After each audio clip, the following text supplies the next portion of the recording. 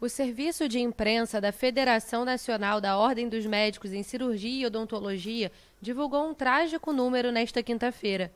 De acordo com a entidade italiana, pelo menos 100 médicos morreram em decorrência da pandemia do novo coronavírus no país até agora.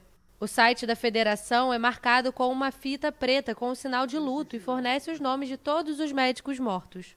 Algumas das vítimas eram médicos aposentados e chamados de volta ao trabalho para ajudar os serviços de saúde sobrecarregados pelo número de pacientes. A imprensa italiana diz que pelo menos 30 enfermeiros também perderam a vida por causa da Covid-19.